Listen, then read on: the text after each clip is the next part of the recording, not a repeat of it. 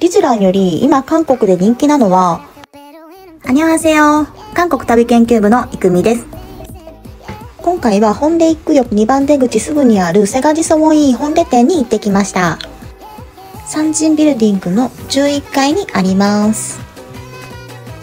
こちらは日本語の通訳さんが付き添ってくれるので安心していけます。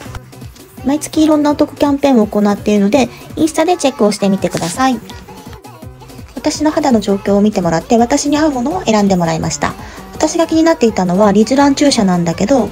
私は乾燥肌で毛穴も気になっていると伝えると、コラーゲンを再生し、肌の保湿力をアップさせ、張りや弾力に期待ができるジュベルックの方がいいとのことでした。毛穴の開き、ニキビ跡、小じわ、肌の弾力などの悩みがある方に向いている施術。一度の注入でも効果を実感できますが、2、3週間の間隔で3回程度施術を受ける方がより高い効果を実感できるそうです。持続期間は1、2年かけてゆっくりと体内に吸収されるそうです。リジュランのように顔全体にブスブスさしていくよ。痛みは麻酔のおかげで最初は大丈夫だったんだけど、最後の方は無意識の涙が出ていました。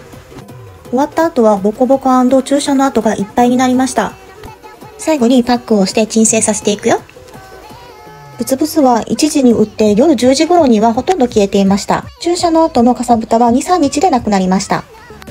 施術後からお肌がプルンプルンになって、痛かったけど結果が良すぎたからこれだったら痛くてもまたやりたいなと思いました。最後に地下1階の薬局で薬を買って帰ってね。